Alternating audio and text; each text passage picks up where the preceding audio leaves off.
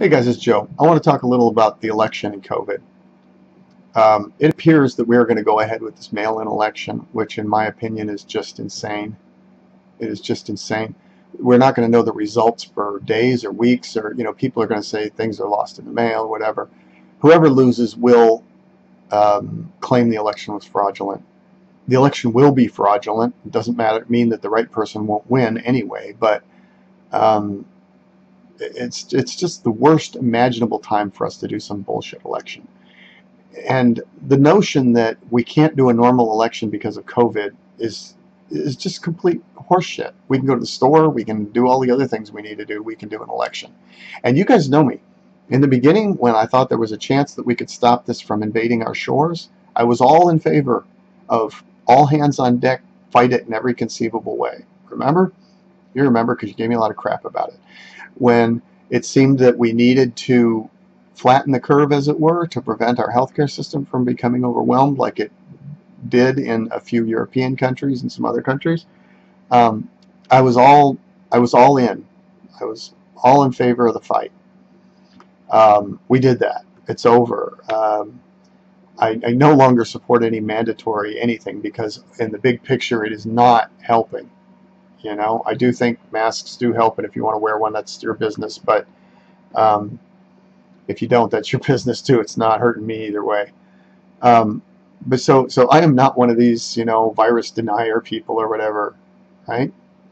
Um, but even I say this is just bullshit. This is just absolute bullshit at this point.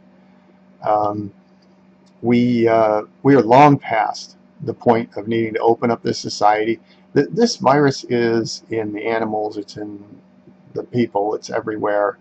Um, we're not going to avoid it. Some people can avoid it, you know, but as a society, it's running its course and it is burning itself out.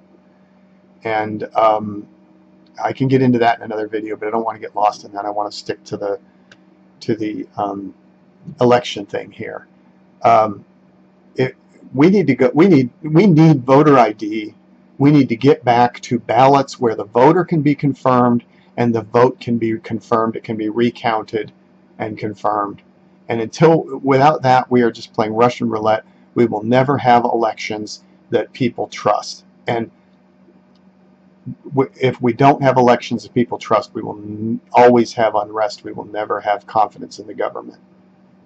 It's it's just that simple um, so, uh, you know, I don't know what we can do about it. I don't know whose decision this is to do this mail-in voting or whatever, but um, uh, whoever it is needs to change their mind, and they need to change their mind fast. This is a disaster waiting to unfold. Uh, we, uh, we need to get rid of these electronic voting machines. Does anybody out there trust this crap? No. Everybody knows fraud is taking place. So um, you know, 117% of the eligible voters in Los Angeles County are registered to vote. You know, nobody believes this. How how can you run a democratic republic if the legitimacy of the election is in doubt? You cannot. You cannot. We need to go to a verifiable election system like we used to have and make it more verifiable, not less. And convenience doesn't have shit to do with it. That's my opinion. I'm out.